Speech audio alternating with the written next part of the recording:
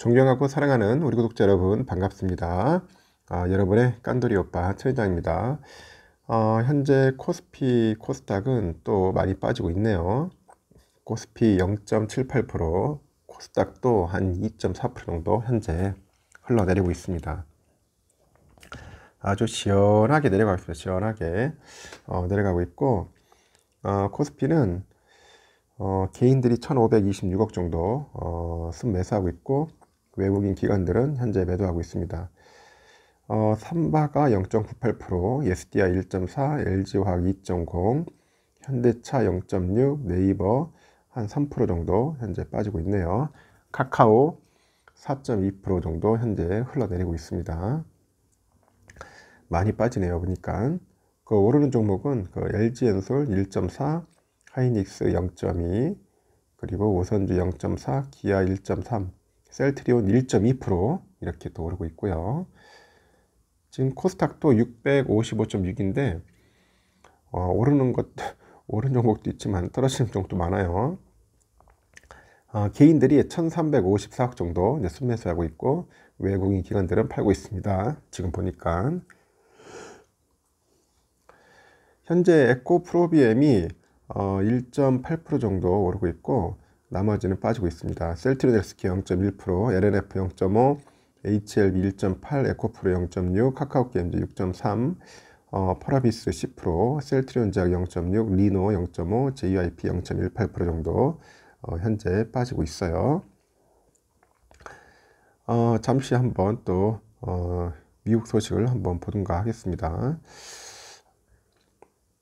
어, 뉴욕 증시가 예상보다 뜨거운 그 생산자 물가 수치, 그 연방준비제도의 공격적인 어, 금리 인상 우려 속에서 어, 소폭 하락을 했는데 어, 다우는 28.34포인트 내려서 29,210.85로 마감을 했고요. S&P도 지금 보니까 11.81포인트 내려가지고 3,577.03으로 거래 마쳤네요. 어, 나스닥도 0.09% 내려서 1417.10으로 장을 마쳤습니다. 어, 국채 금리는 하락을 했고 이날 3.951로 출발했는데 어, 10년물 국채 금리 수익률은 3.90이에요. 하락했어요. 이날 그 월스트리트는 9월 생산자 물가 수치에 주목을 했습니다. 생산자 물가 지수는 그 전달 대비 0.4% 상승을 하면서 시장 예상치보다 높았고 어, 시장은 인플레이션이 높은 수준을 유지한다면서 연준이 이를 잡기 위해서 공격적인 음, 금리 인상 경로를 이어갈 가능성이 높다고 어, 우려를 하는 것 같습니다. 지금 시장 하여튼 시장은 연준이 이날 공개한 9월 그 회의록 내용에도 어, 주목을 했고 연준은 물가가 하락할 때까지 어, 더 높은 금리 수준을 유지할 것임을 제어하기는 했어요. 연준이 공개한 지난 9월 그 FOMC 정례 회의 회의록에 보니까 어, 연방 준비 제도 이사회 여기 참석자들은 어, 인플레이션이 특히 저소득 미국인들에게 피해를 주고 있다. 그래서 이 문제가 해결될 조짐이 보일 때까지 어, 금리 인상이 지속될 것이라고 밝혔습니다. 그 회의록은 참석자들은 그 위원회가 최대 고용과 물가 안정을 도모하기 위해서 보다 제한적인 정책 기조로 이동한 후에 유지할 필요가 있다고 판단을 했는데 어, 이어서 참석자들은 인플레이션이 거의 완화될 기미를 보이지 않고 있다고 판단해서 그 위원회의 목표를 달성하는데 필요해 보이는 만큼 연방 기금 금리의 전망치를 높였다고 덧붙이는 것 같아요. 어, 그래 참석자들은 인플레이션이 용인할 수 없을 정도로 높고 장기 목표인 2%를 훨씬 상회하고 있다는 점을 주목을 해요. 그 최근에 인플레이션 데이터가 일반적으로 예상보다 높게 나왔다고 하는데 어, 예상보다 더 느리게 하락하고 있다고 또 판단을 한 것 같습니다. 장기 전망에 대한 그 회의록은 음, 참석자들은 향후 몇 년 동안의 인플레이션 압력이 어, 점차 어, 줄어들 것이라고 판단을 했다고 밝혔어요. 이날 회의록에는 긴축 속도 조절에 대한 언급도 담겨 있는데 어, 회의록은 누적된 그 정책 조정이 경제 활동과 그 인플레이션에 미치는 영향을 평가하면서 정책 금리 인상 속도를 늦추는 것이 어느 시점부터 적절해질 것이다 그렇게 밝혔어요. 여러 참석자들은 현재 매우 불확실한 세계 경제 및 금융 환경에서 경제 전망에 대한 그 중대한 악영향의 위험을 완화하는 것을 목표로 어, 추가적인 정책 긴축에 대한 속도를 어, 조정하는 것이 중요하다 언급을 합니다. 어, 뉴욕 증시는 회의록 공개 후에 소폭 오름세를 보였는데 어, 시장 일각에서 이 같은 발언을 금융시장 혼란이 더 심해질 경우 그 연준이 급격한 긴축 정책을 처리할 수 있다는 그 신호를 보낸 것을 호 이제 받아들이는 거죠. 어, 그리고 연준은 노동시장 이완을 통해서 총 수요를 줄이라고 있다고 하는데 이는 뭐 주택 등 금리에 가장 민감한 부분에 이미 미치고 있는 고통이 더 많은 부분으로 확대될 가능성이 매우 높고 어, 시간이 지남에 따라 심화될 것을 의미한다. 향후 몇 달 동안 그 관련 인플레이션 지표가 빠르게 감소하지 않는다면 앞으로 더 많은 고통이 있을 것이라고 전망을 해요.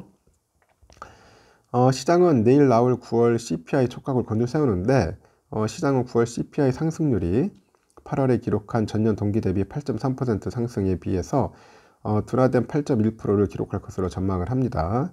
어, 식품과 에너지를 제외한 그런 CPI는 그 8월에 6.3에서 6.5%로 상승할 것으로 예상하고 있고 그 소파이의 그 소파이 소파이의 리지형 그 헤드가 그래요. CPI가 예상 범위를 아래쪽으로 벗어나는 큰 하방 서프라이즈가 있을 것으로 기대하지는 않는다는데 근원 CPI가 예상대로 6.5%를 기록해도 어, 상당한 문제다. 그렇게 이야기를 하네요 보니까. 어, 이날 예상을 상회하는 3분기 실적을 내놓은 펩시 주가가 4.18% 올랐고 2년 6개월 만에 어, 최대폭으로 상승했어요. 가격 인상이 실적 호조에 도움이 됐다. 그런 이야기가 있습니다. 하여튼 가격 올렸다고 주가 오르네 어, 크루즈는 일제히 급등을 했고 카니발이 10% 올랐네. 로얄 캐리비안 11% 정도 올랐습니다. 어, 기술주는 엇갈린 모습이고 넷플릭스 3% 올랐고 아마존 0.6% 올랐어요. 알파벳 0.3 어, 테슬라 0.3% 올랐고 어, 애플 0.4% 메타는 0.8% 정도 내렸고 모더나 8% 올랐네요. 그리고 바이오엔텍 5.5% 올랐고 어, 태양광주 일제히 하락 어, 하락했습니다. 보니까 어, 국제유가는 하락을 했고 지금 보니까 음, 서부 텍사스는 원유 11월 인도분 배럴당 2.25달러 내렸어. 87.10달러. 그리고 12월분 북해산 브렌트유도 2달러 내려서 92.29달러고 어, 금 가격은 하락을 했네요. 온수당 5.9달러 내려서 1680.10달러. 달러 인덱스는 전날보다 0.03% 올라서 113.26 그렇게 기록을 하고 있습니다 어, 참고하시면 될 것 같아요. 어, 그렇게 뭐 썩 뭐 좋은 모습은 아닌 것 같은데 하여튼 그렇습니다. 지금 보니까 삼성전자 어, 현재 보니까 55,700원 약 100원 정도 빠지고 있어요. 빠가지고 있고 외국인들은 열심히 사고 있어요. 50만 주 정도.